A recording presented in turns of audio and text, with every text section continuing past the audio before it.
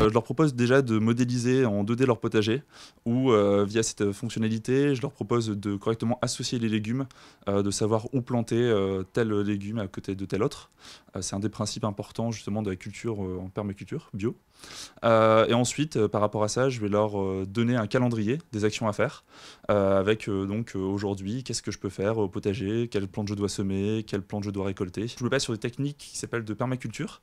la permaculture, c'est cultiver avec la nature. Donc c'est euh, comment utiliser euh, les insectes pour lutter contre, contre les ravageurs. Par exemple, on va essayer d'amener les coccinelles au potager pour lutter contre les pucerons, plutôt que d'être dans un système qui était jusque-là un peu standard, où on allait traiter. Là, on va, euh, on va amener ces auxiliaires.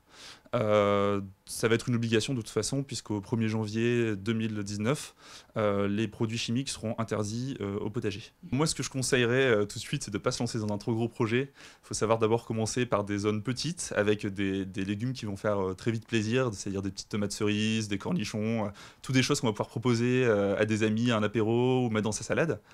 et en fait, ça va très très vite, parce que on peut, à partir du moment où on crée une zone, il faut, va dire, trois, trois semaines pour avoir ses premiers radis. Et puis ensuite, euh, au bout de 3-4 mois, on a déjà ses premières tomates, on a ses premières courgettes, euh, très facilement.